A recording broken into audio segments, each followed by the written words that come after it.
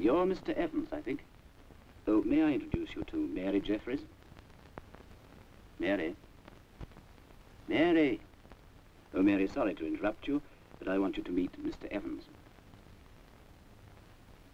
And this is George Aldred. Oh, George, this is Mr. Evans. Now, here's young Johnny Eccles. Johnny, come and say how do you do to Mr. Evans. What the? And finally, Bert Gordon. Bert, this is Mr. Evans. How do you do? What is all this about? Sorry, I, I should explain. I stopped you just now because you were driving too fast. I was not. I was doing 28 and the speed limit's 30. That's right, isn't it? Oh, no, it isn't. Now, look here. You and Bert are approaching a crossroads at 28 miles an hour. The point is, you were both in the wrong because you weren't driving safely. Now, let's go down here at 15 miles an hour. Remember Mary? Well, she can think of nothing else but her young man at the moment. If you'd been doing 30, it'd have been very nasty.